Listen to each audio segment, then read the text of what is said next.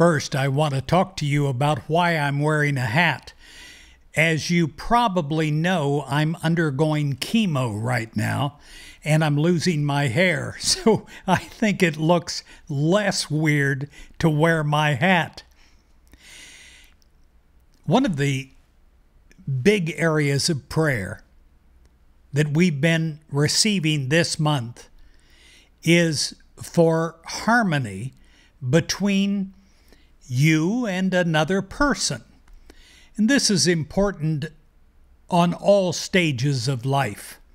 So I would like to talk about that. First of all, you live in harmony with God.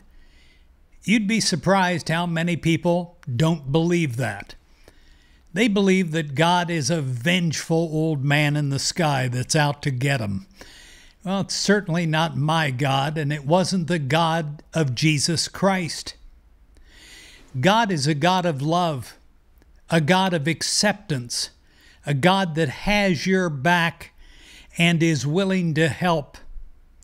God is a God that is willing. If you're willing, you have to ask God and say, Help me, and Today, we're asking for help with our ability to live in harmony. If you find yourself in a situation that seems less than harmonious, take a moment to turn within in prayer. And as you do so, feel the loving presence of God absolutely infill you and come through you.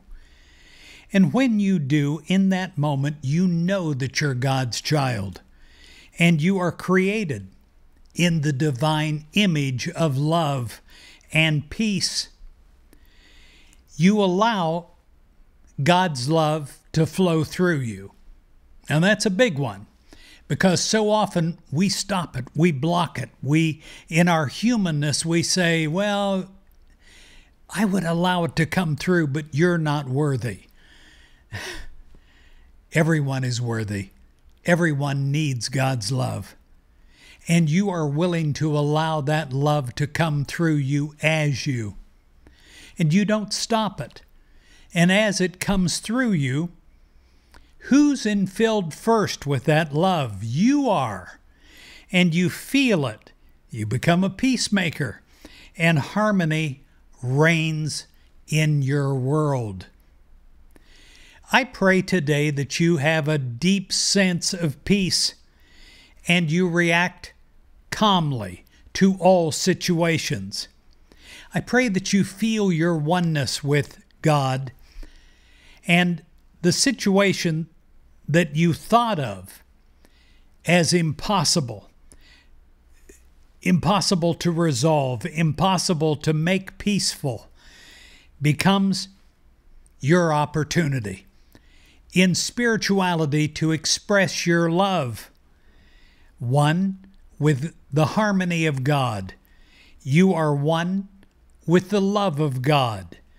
And you take the first big step towards harmony in your world by allowing an air of peace to come through you and a love of God to all that you meet. I pray that you do this today.